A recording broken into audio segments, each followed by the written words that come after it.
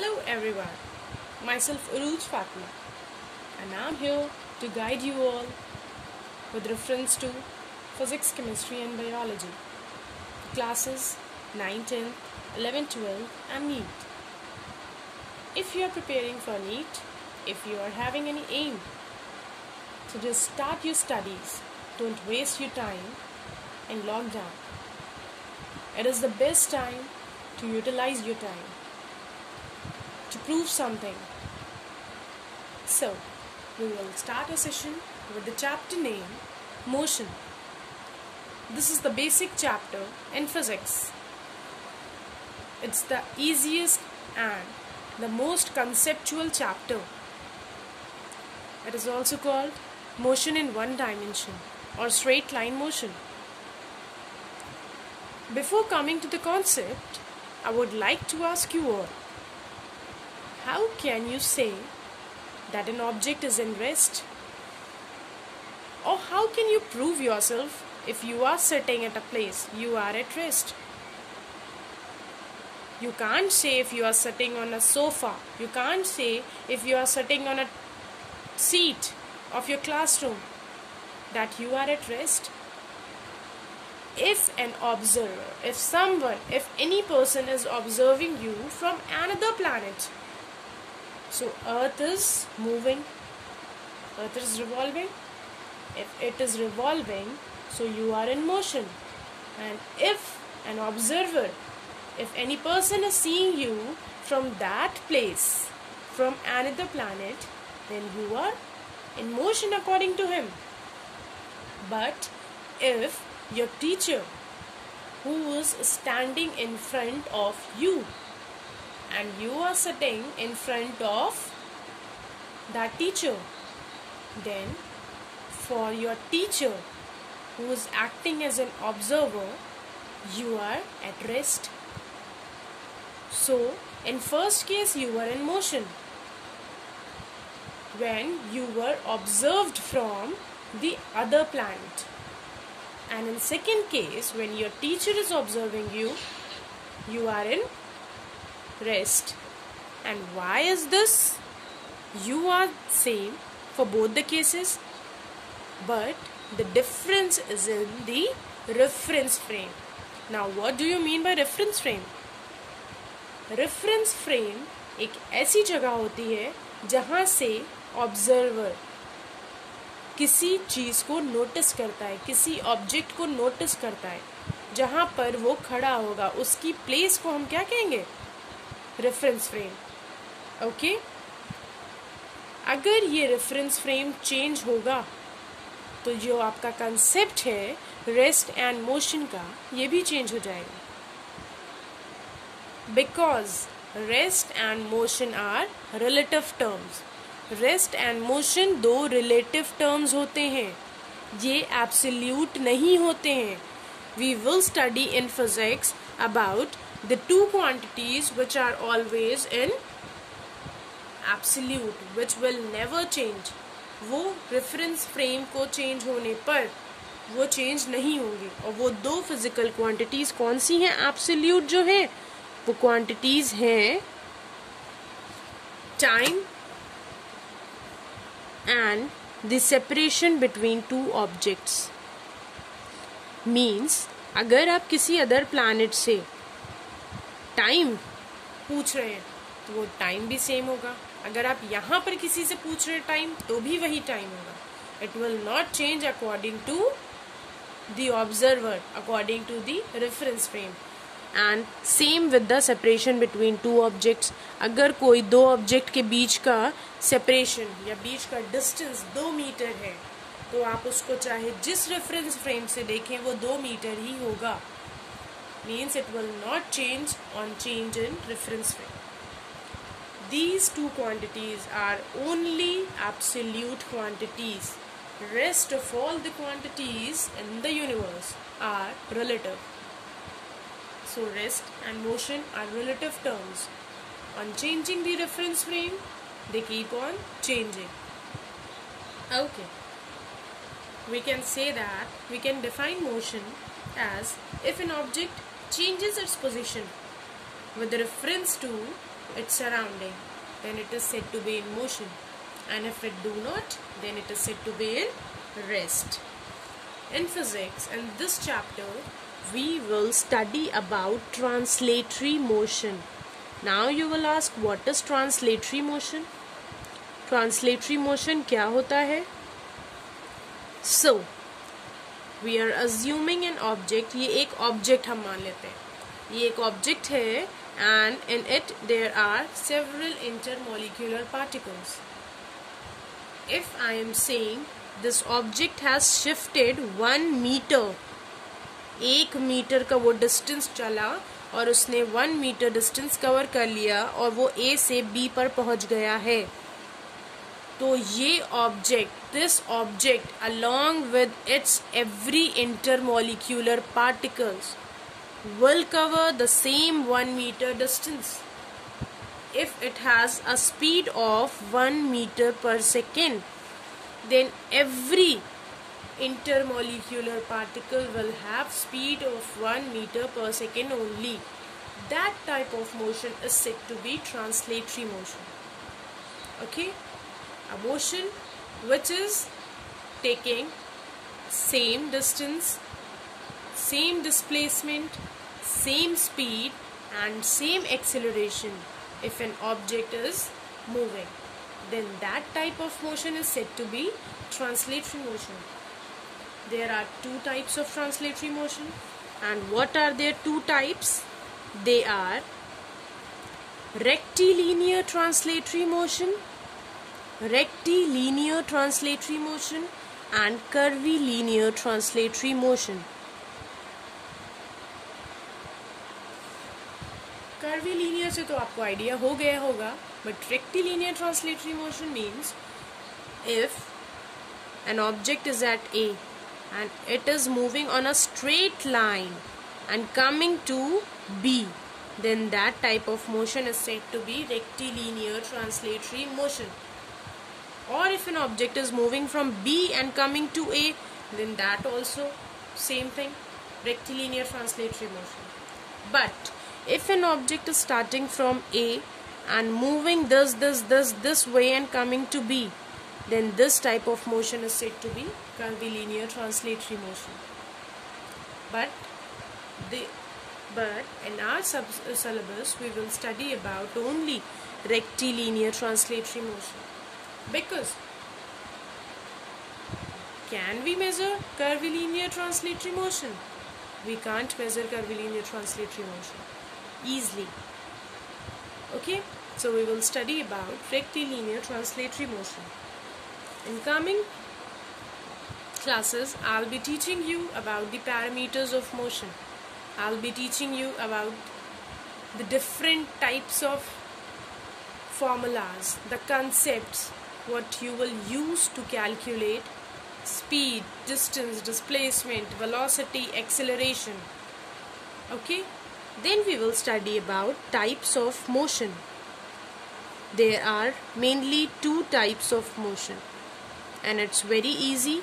It is uniform motion and non-uniform motion. What do you mean by uniform motion then Uniform motion means if an object is moving with constant speed, जब किसी object की speed constant हो speed constant हो speed is denoted by V its speed is constant means its speed is not changing उसकी speed change नहीं हो रही है then that type of motion is said to be uniform motion then what do you mean by non-uniform motion non-uniform motion means if an object is moving with variable speed means इनकी speed क्या हो variable हो change कर रही हो change कर रही हो then that type of motion is said to be non-uniform motion अब आपके दिमाग में कुछ तो आइडिया आया होगा about uniform and non uniform motion yes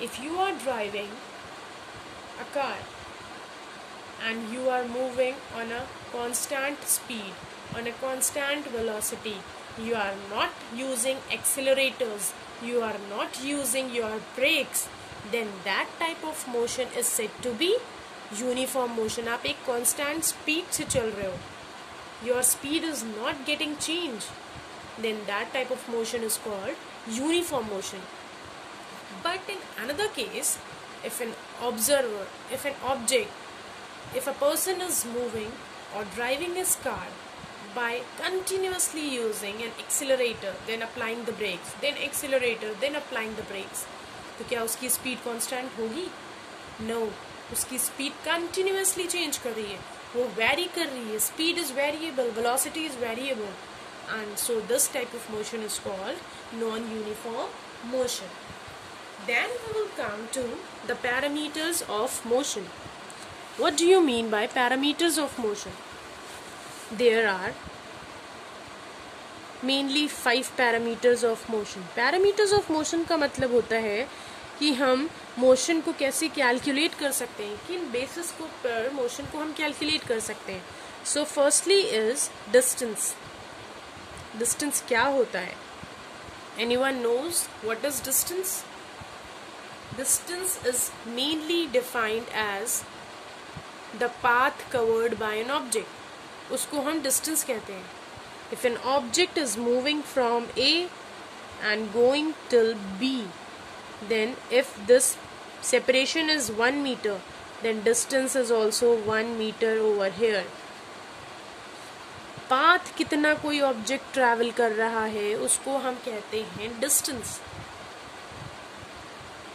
अगर ये एक square if you are taking an square and if an object is starting from A and going to be then going to C, then going to D, and then coming back to A. Then what distance it is covering? What is the distance in this case? The distance is AB plus BC plus CD plus DA. This is the distance in this case. Okay? Now, distance is a scalar quantity this is very important for you to know distance एक scalar quantity होती है I'll teach you vectors also in our next classes मैं vectors का class लूँगी मेरे नए उस पर देख लीजिएगा आप लोग दो क्वांटिटीज फ़िज़िकल होती हैं एक होती है स्केलर क्वांटिटीज़ और एक होती है vectors quantity scalar quantities are those quantities which only have magnitude but vectors are those quantities which have magnitude as well as direction so distance is scalar quantity हमने सिर्फ़ डिस्टेंस को हम numbers में बता सकते हैं, उसकी वैल्यू दे सकते हैं बट हम उसके डायरेक्शन की बात नहीं कर रहे हैं। डिस्टेंस में कभी भी डायरेक्शन की बात नहीं होगी, क्योंकि वो एक स्केलर क्वांटिटी है। Okay then then what is the difference between distance and displacement I think displacement is also same thing but here your physics is little different distance and displacement are different thing we will study about displacement here what is displacement it is the change in position. It is change in position. Position ka change hona. If an object is moving from a and moving to b and if it is covering 1 meter distance then displacement is 1 meter. But in case 2 this is case 1 and in case 2 if an object is moving from a and going to B, and then coming back to A. अब वो फिर से A ही पे आ गया है. Then what is the displacement? A B plus B A no that is distance here distance is equals to distance is equals to A B plus B A means A B का जो distance है, फिर B ए तक आया तो B ए का जो distance है, वो हमारा डिस्टेंस हो जाएगा. बट डिस्प्लेसमेंट इस केस में क्या होगा? डिस्प्लेसमेंट इज़ ज़ीरो वाई जहाँ से हम स्टार्ट कर रहे हैं, हम वहीं पर आकर रुक गए हैं।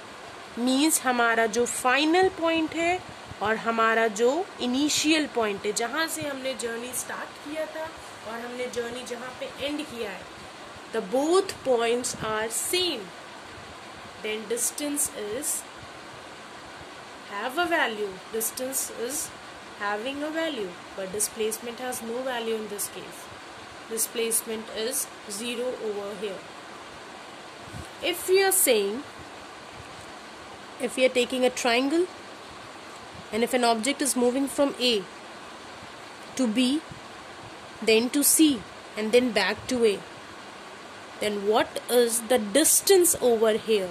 It is AB plus BC plus CA but what is the displacement it is 0 because the final and the initial points are same okay that is the difference between distance and displacement there's another difference also displacement is a vector quantity displacement is not a scalar quantity means इसमें हम direction को भी involve करेंगे direction is also being involved in this case. Okay? Means if we are moving you all must be knowing about the four poles. This is north this is south this is west and this is east. If an object is moving in east direction and then an object is moving in south direction तो अगर हम speed की बात करेंगे तो हम ये नहीं बताएँगे कि the object is moving in east and then object is moving in south but if we are talking about the displacement then we have to mention the direction also because displacement is a vector quantity okay then we will discuss the difference between distance and displacement the first difference is it is scalar which is scalar distance and displacement is vector the next is distance can never be zero. Distance can never be zero. Distance is always positive. You can write these points. Distance is always positive but displacement can be zero. Displacement can be zero. Displacement can be negative also because it is vector quantity. अगर हम नीचे जा रहे हैं तो हम negative होंगे, ऊपर जा रहे हैं तो पॉजिटिव होंगे। तो हम, हमारा डिस्टेंस क्या है? एक स्केलर क्वांटिटी है तो उसमें डायरेक्शन का कोई इफ़ेक्ट नहीं पड़ेगा। But displacement is a vector quantity तो हमारा नीचे जाने पर नेगेटिव साइन ऊपर जाने पर पॉजिटिव साइन हो जाएगा। That means displacement can be positive negative और zero but distance is always positive इससे हम एक और बात को कंक्लूड कर सकते हैं कि distance is always greater than displacement displacement can be equal to distance, but can never be more than distance. Okay? You can write this point. Distance can be equal to displacement but distance can never be lesser than displacement is this concept clear to you anyone having any problem okay I am giving you one question. Please tell me which of the following is true for the displacement. You have to do this question. Write your questions. Which of the following is true for displacement? It cannot be zero. And second is its magnitude is greater than the distance traveled by the object means displacement magnitude is greater than the distance traveled by the object. There are two conclusions. You have to say it is correct or not. Okay, the first one was it cannot be zero means displacement cannot be zero. And second one is the displacement magnitude is greater than the distance traveled by the object. Try to solve this question. And numericals I'll be solving in my next class. You can watch my next video. Till then thank you students. Goodbye